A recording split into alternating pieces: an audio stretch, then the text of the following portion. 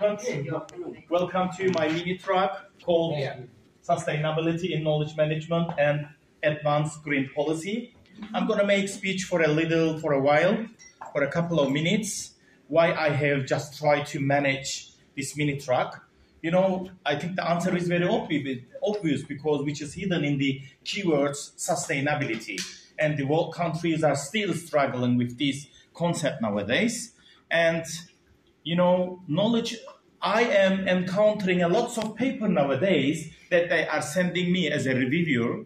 Uh, green knowledge management, green human resource management, uh, green policy, blah, blah. So there were so many uh, special concepts which includes the green words in front of them. So I'm really curious about really is there a difference between the knowledge management and the green knowledge management. That's why I just try to manage this minute track and I am highly appreciated for those who already contributed to my mini track by sending the paper and reviewing successfully and accepted as well.